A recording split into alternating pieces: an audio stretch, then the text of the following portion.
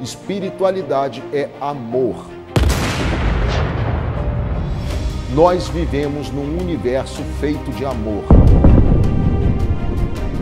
Quer iluminar a sua vida? Quer se transformar num ser espiritualmente mais elevado?